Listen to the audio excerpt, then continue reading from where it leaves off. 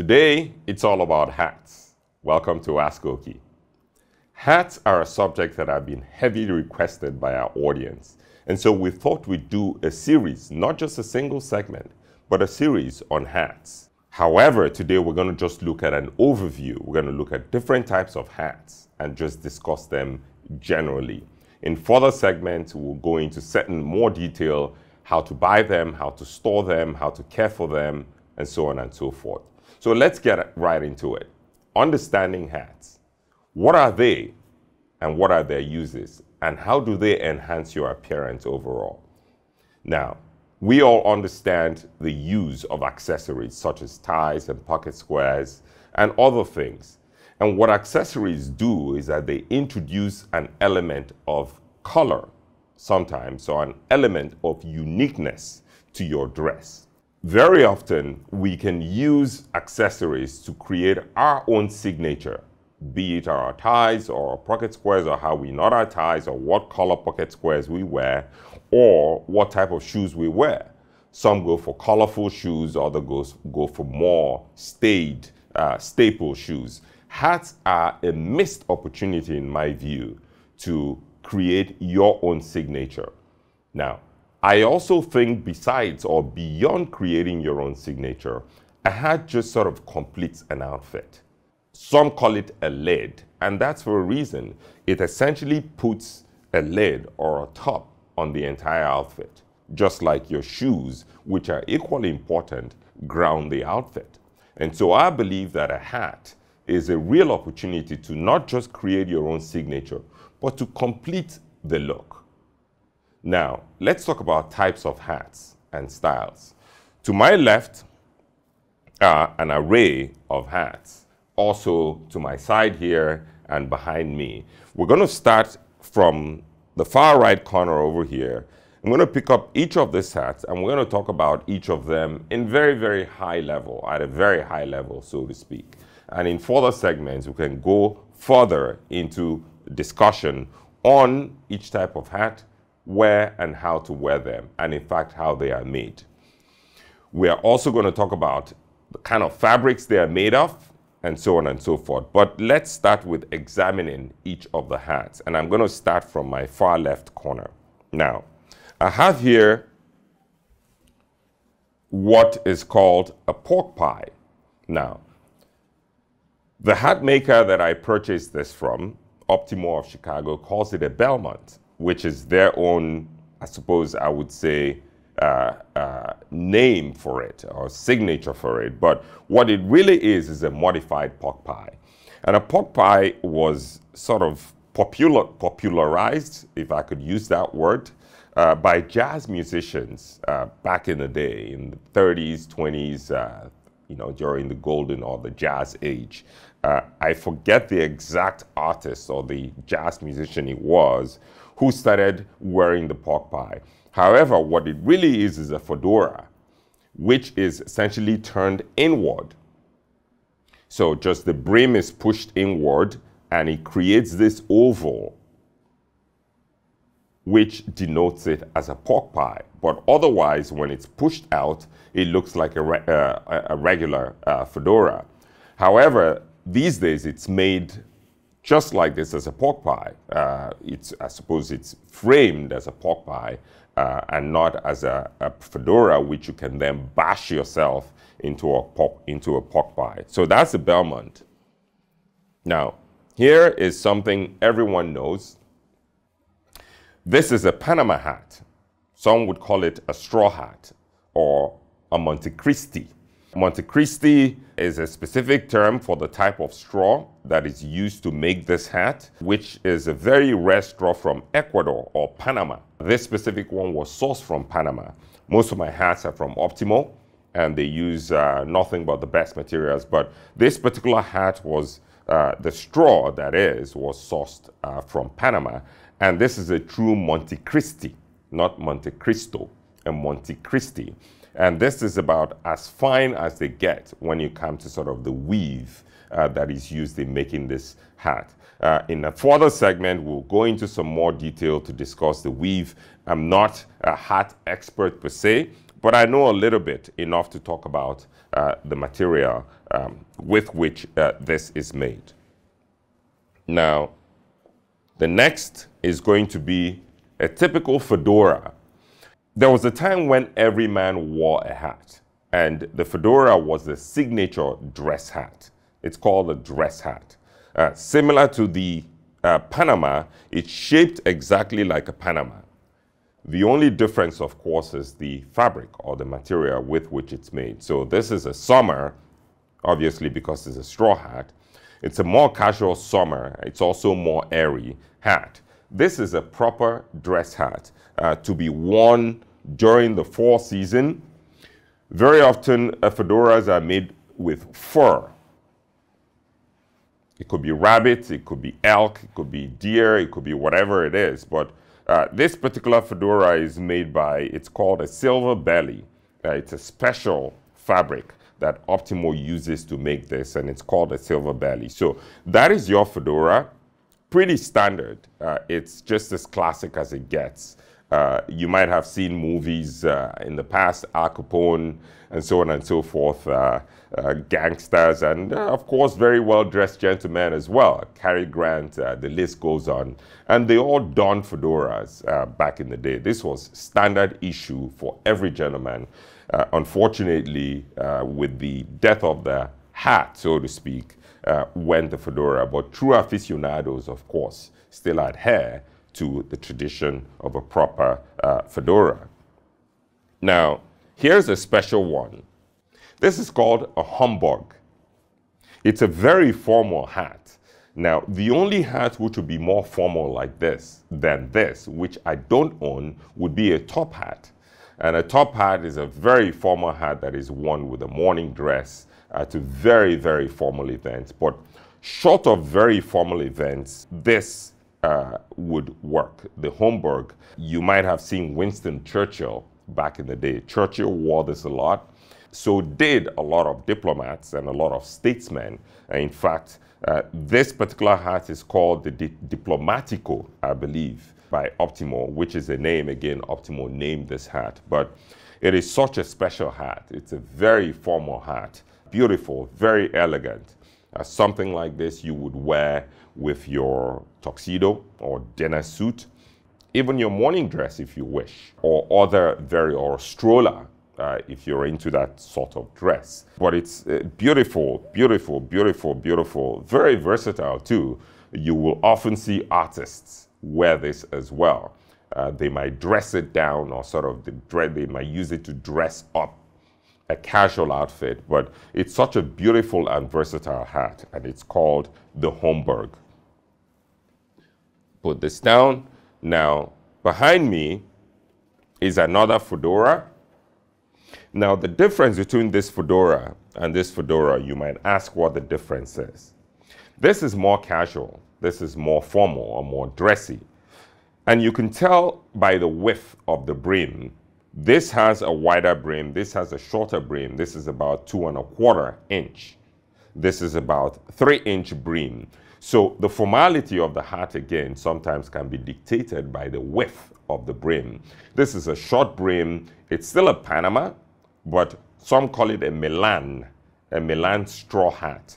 Uh, for some reason, I'm not sure exactly where that name comes from, Milan, but it's called a Milan straw hat. It has a shorter brim. It's made from the same, uh, the same Montecristi straw from Panama, I believe, uh, from uh, from Panama, of course, from or from Ecuador. Some get it from Ecuador, but it's made from the same quality straw. It's just sort of different. Now here, I've accessorized it differently by using a brown ribbon to suggest that this is a more casual hat. The darker ribbon here suggests that it's a more formal hat. So again, there's so many things you could do with your hats. For instance, using the ribbon to step up or step down the formality of the hat. So that's your Milan or your casual Montecristi or Panama hat. Now, here is another fedora. Very similar to the silver belly we just looked at, but this is made in elk. Okay, just a different skin or different fur. It's an elk in brown. Again, when you truly get into hats, as I did some years ago, uh, you will find that you will need a variety of hats uh, to complete your outfit.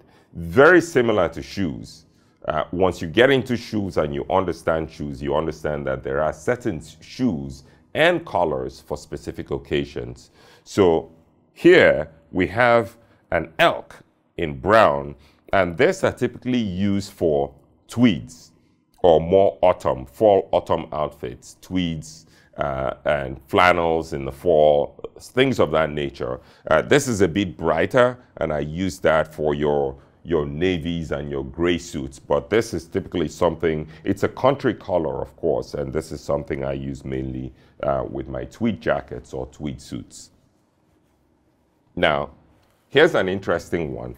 This is called a boater or a boater, if you're English. Uh, a boater is um, it's a formal hat, a formal in the sense that it's used for uh, formal events like boating events, uh, boating regalia. Uh, you will often see this one with a blue blazer, a traditional navy blazer, or a boating or boat stripe blazer.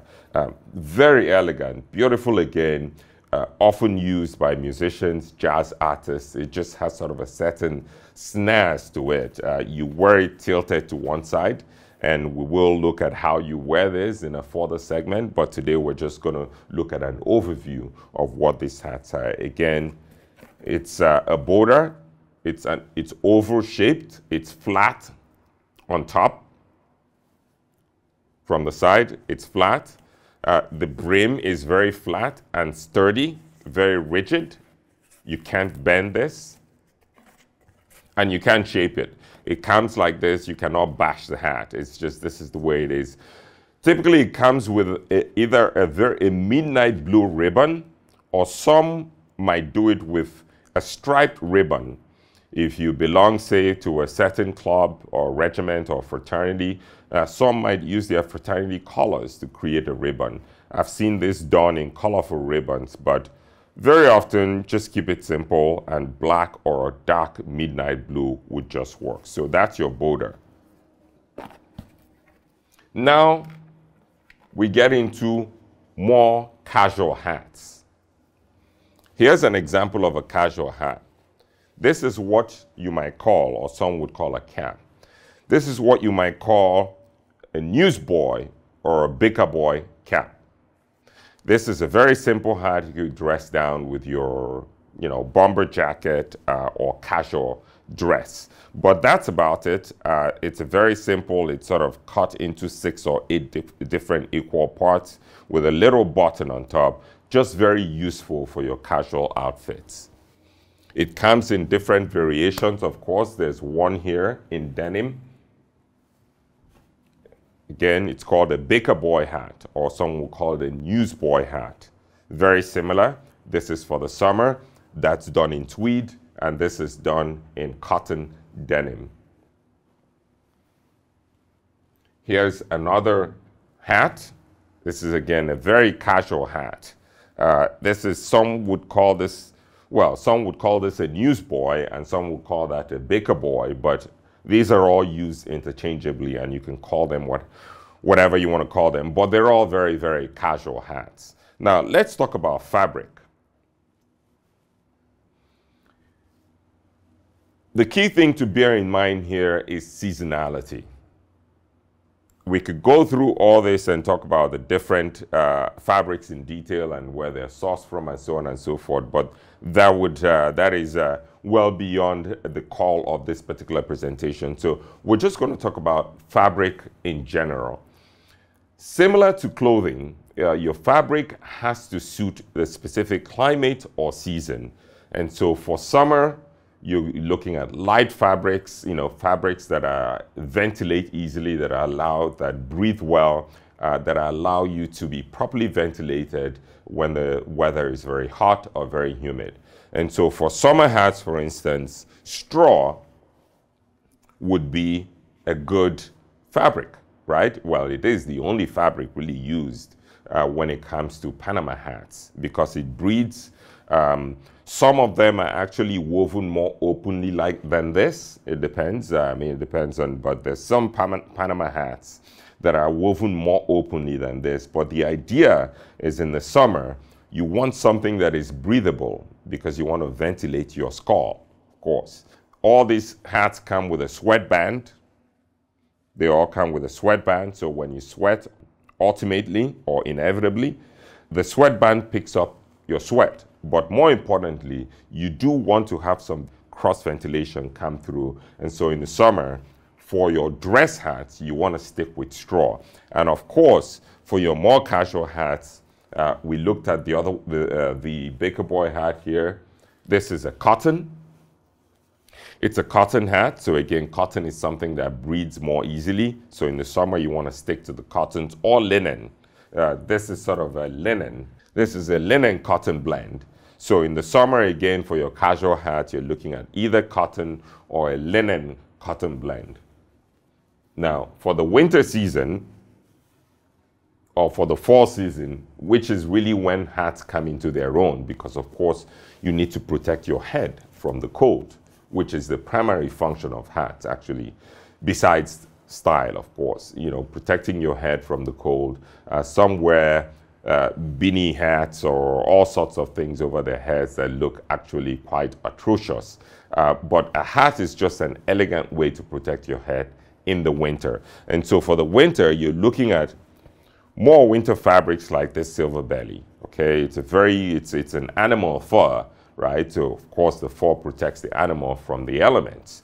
So this is made from silver belly, which is from a specific type of animal. And so this is a perfect um, hat for your for the fall season. Very similar to this, this is also made from fur, rabbit fur. I mean, they use all sorts of fur, but uh, the furry hats um, are specifically designated uh, for the winter season. Now, let's talk about what's available in the, in the market.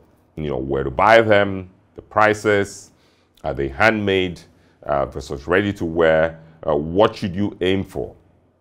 Now, where to buy them. There are a number of there are any number of places you can buy hats. I mean, they're cheap hats, quite literally, uh, cheap hats, and then they're really well made handcrafted hats. So, depending on your budget, your taste, or your interest, um, some spend a lot of money on hats because it's just their thing. Uh, just like some spend money, you know, spend on other things, bespoke clothing, shoes, what have you. Um, but where to buy them? I'm going to talk about where I bought mine, and then, of course, I'm going to mention a few more names, but uh, they're names like Stetson, these are household names.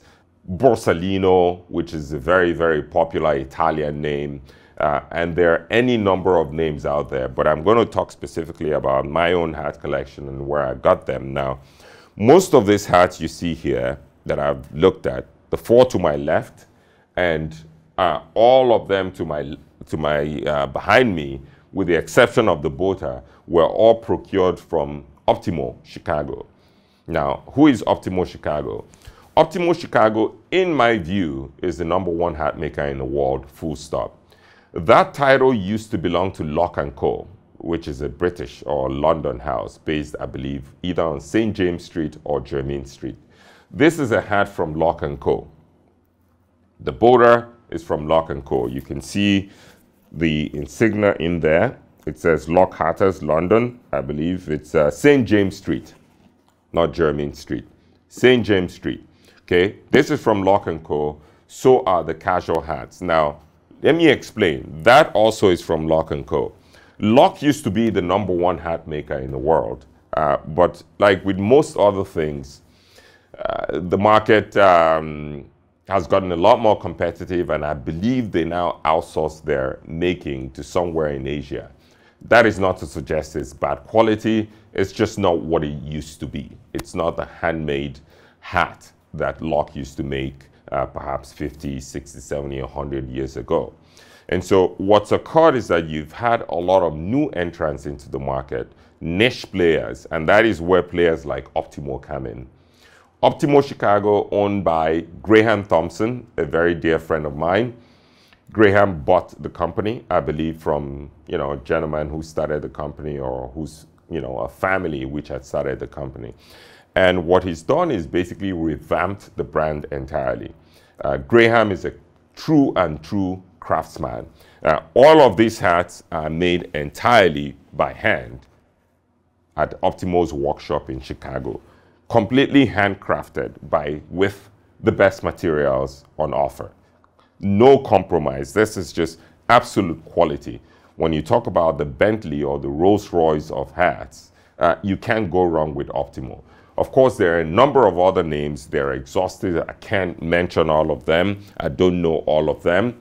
Uh, but most of my hats, personally, and this is not a plug for Graham, um, it's just my own experience. Uh, these hats have worn well. You can look at the Monte Cristi, for instance. I used this thoroughly over the summer, traveled with it. You can see sort of the little bruises at the edges. And that is one of the beauties of, the, of uh, a hat is that uh, it looks better with age. It looks better with age when it's worn in. So so Optimo Chicago is one place. Lock & Co, of course, is another place. All the hats I have here uh, actually were procured either from Optimo or from Lock & Co. But like I said, you have Stetson, if you like cowboy hats, 10-gallon hats, um, all sorts of eccentric hats. There's so many different hat makers, you know, just all you have to do is a Google search. How are they delivered? Uh, they're delivered in boxes. Um, in our next segment, we'll look at sort of one of the boxes, uh, which actually we can get into how you should actually store these hats because they're very delicate and they need to be stored properly. We'll also look at you know how you can bash them on your own. I don't bash my own hats. Uh, hats. I don't claim to be an expert. I have them bashed at the factory, at the workshop, and then when it requires maintenance, I send them to a professional who knows exactly what he's doing. We've looked at a very high level overview of hats. We haven't gone into any specific detail. Uh, the point of this discourse today was just to look at a high level uh, overview of hats, why you should wear hats, in my view. They complete an outfit. Uh, they are sort of, in my view, an underutilized accessory which you ought to take uh, full advantage of. So here we are, uh, the prof. What's the prof wearing today? All AskOkey, of course. Uh, this is our signature AskOkey uh, jacket or suit, as it were, and trousers. So uh, it's a classic AskOkey trousers, uh, classic high-rise trousers, pleated, of course, beautiful. And I'm wearing it with a jacket, an AskOkey jacket, a classic jacket, uh, made from the same cloth. Uh, just a simple, beautiful, elegant, one-button uh, jacket, uh, which of course is part of this suit. The fabric is a beautiful Irish linen. Uh, it's very rare that you see Irish linen done in a gun club, but I was so fortunate to uh, find this fabric, which was sort of a, a last bolt from an, an, old lawyer in London who was retiring and getting rid of some of his old cloth. So I was fortunate enough to grab this. But it's a cloth from Hunters of Brora, which is a Scottish mill. Um, so that's what we're wearing. The shirt, of course, is an AskOkey shirt, a simple white shirt, clean white shirt with fabric or sort of the cloth, uh, the shirting from Carlo Riva. Of course, everything we do has to be absolute premium. And so the cloth or the fabric for this shirt is a beautiful voile. Uh, I hope I'm pronouncing it correctly, but it's a voile cotton from Carlo Riva, which is an Italian mill, which in my view my opinion, makes the best shirtings ever. Second being Alumo of Switzerland, but Carlo Riva number one, and we only use Carlo Riva. Well, we don't only use Carlo Riva for our shirts, but uh, typically for those who demand nothing but the best, uh, we recommend the Carlo Riva shirt. And of course, I'm wearing a beautiful uh, tie. It's just sort of a wine tie, very subtle pattern tie. Um, to go with the outfit. It's quite, uh, let's say, an exuberant suit.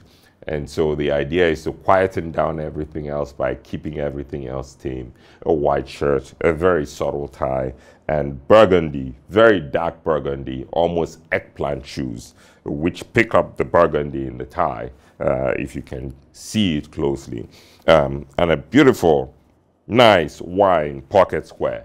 Again, I've gone for just sort of a very subtle look everywhere else because, in my view, uh, the suit itself or the fabric for the suit speaks volumes. So uh, it's all about balance. It's all about balance. You want to sort of keep things balanced. If you're wearing a very, very stage suit, uh, you have the license to play around with accessories. But if you're wearing an exuberant suit, such as I have on today, uh, then you want to do the opposite and balance it out by taming down or tamping down the accessories.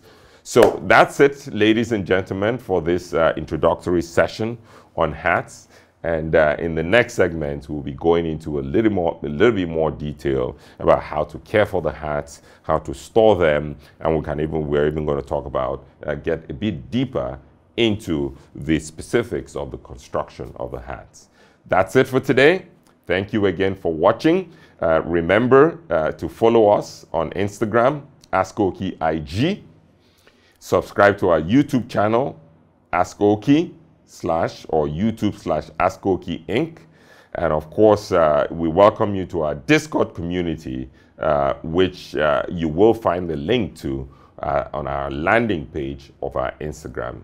And of course, our website, uh, www.askokey.com, where you will find our web shop and you will find all these amazing goodies waiting to be custom made or to be bespoken by your very good self. Thank you for joining me and goodbye.